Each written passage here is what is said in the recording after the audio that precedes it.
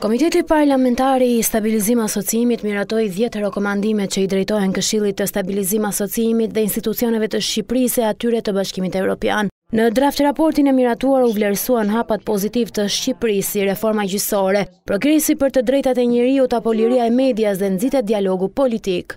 Duke qenë se partitë e opozitës erdhën në parlament, kjo është një fillesë e mirë. Kjo është një gjë e mirë sepse kështu funksionon sistemi. Të gjitha partitë në pushtet në të gjithë Europën duan ta përdorin ligjin për sukses. E mira është që të përfshihet në Kushtetutë ndryshimi i Kodit Zgjedhor për zgjedhjet e ardhshme.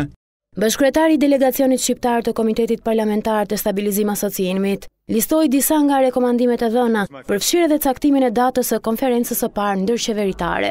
Vlerëson progresin e reformës gjyqësore të Shqipërisë, e cila përfaqëson një hap kyç drejt një sistemi drejtësie të lirë e të pavarur dhe një bazë të fortë për luftën kundër korrupsionit dhe krimit të organizuar, Përshëndet nisjen e ushtrimit të funksioneve të Gjykatës Kushtetuese, Gjykatës së Lartë dhe Strukturës së Posaçme për Antikorrupsionin dhe Krimin e Organizuar, SPAK.